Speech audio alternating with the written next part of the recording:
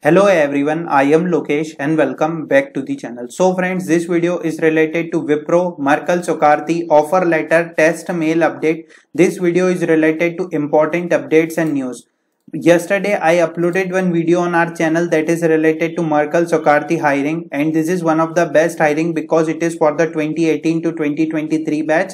And if you are from be btech graduate you can easily apply. There is no branch criteria also.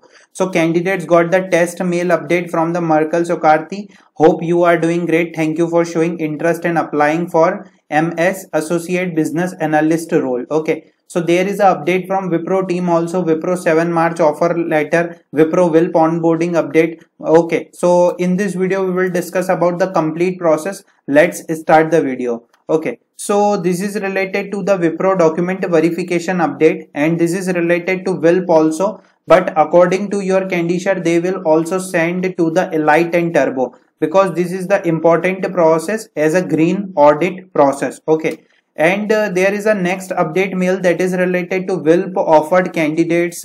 Okay so they will schedule your assessment as a step place assessment and uh, they are mentioning that there is a survey link that is related to this form and you have to indicate your interest by 5th March 4 pm so this is the WILP onboarding update.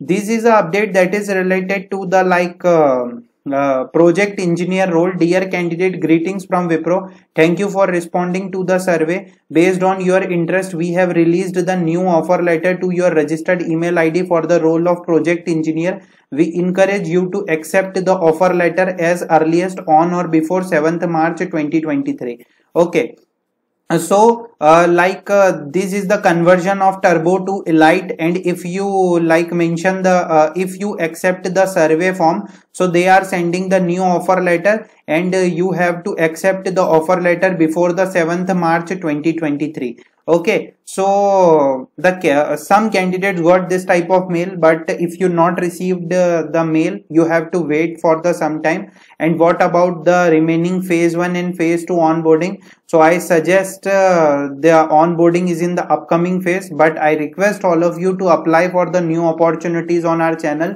because hirings are ongoing and candidates are receiving the test mail okay so basically this type of mail is received by candidate. You have to like uh, apply by taking the aptitude and psychometric test. Okay there is a no coding. Okay there is 20 minute test and 60 questions are there. Uh, negative marking for each question answer you give. So prioritize on the question you are confident on. Score maximum marks. Ensure you have a good internet connection no time limit for psychometric test. Question is 80 the test is valid for next 48 years. If you clear the test we will connect you within a week. Candidate who meet the below criteria can process further.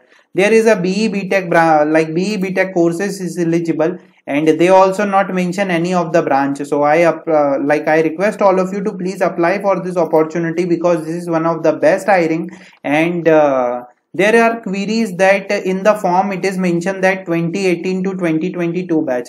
But in the like in the official website form they mention that 2018 to 2023 batch. So you can easily apply for this opportunity and uh, the last decision will totally depends on them.